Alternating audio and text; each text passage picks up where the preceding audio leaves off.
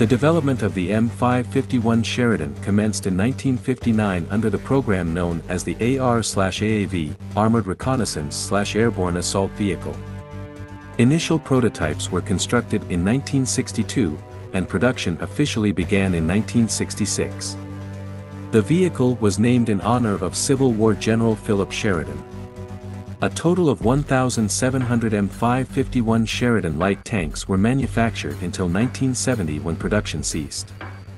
This tank served as a replacement for the M41 tanks and M56 self-propelled guns in use by the U.S. Army. The Sheridans were gradually phased out of service starting in 1978, with the last operational vehicles decommissioned in 1996. Presently, the U.S. Army lacks a direct substitute for this lightweight, airborne, and amphibious tank. The M551 Sheridan possessed the capability for airdrops, including those at low altitudes.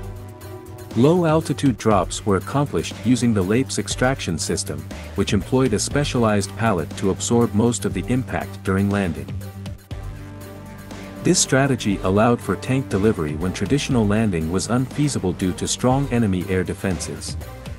Notably, the Sheridan stood as the sole air-deployable tank in service with the U.S. Army.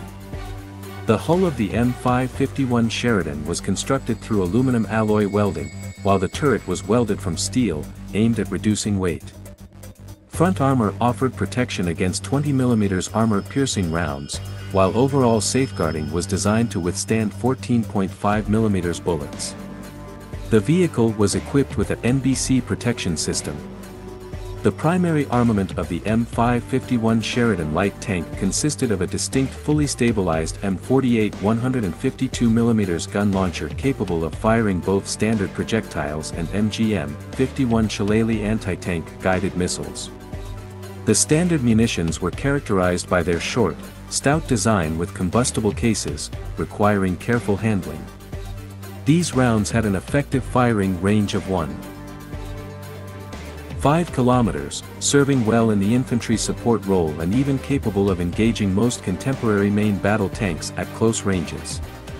However, accuracy diminished at longer distances. The Shillelagh anti-tank guided missiles were intended for engagements at extended ranges, stored in aluminum cases with a range of up to 3 kilometers. Yet, due to intricate electronics and guidance systems, these missiles were seldom employed, mainly used for crew training. A similar gun launcher, with slight modifications, was later integrated into the M60A2 main battle tank. Operational experience with this unconventional tank demonstrated that the 152mm gun launcher was inferior in terms of range and accuracy compared to 105mm and 120mm tank guns, specifically when firing standard munitions. The secondary armament included a coaxial 7.62mm machine gun and a 12.7mm anti-aircraft machine gun. The tank was operated by a crew of four, including the commander, gunner, loader, and driver. The M551 Sheridan utilized a Detroit Diesel 6V53T diesel engine generating 300 horsepower. The tank could become fully amphibious after a two-minute preparation. On water, the tracks propelled this lightweight tank. Around 200 Sheridans were employed by the U.S. Army during the Vietnam War. Combat experiences highlighted several shortcomings, including vulnerability to grenades and mines. The gun launcher exhibited issues with cracks developing after repeated firing and excessive recoil for a light vehicle. Modifications were made to address these problems in most field units. The M551A1 Sheridan represented an upgraded version of the original vehicle, developed in 1971 based on operational insights from the initial M551. This version featured enhanced suspension and a laser rangefinder. The M551 Sheridan introduced a highly innovative design for a light tank, however, numerous deficiencies led to its gradual retirement from service.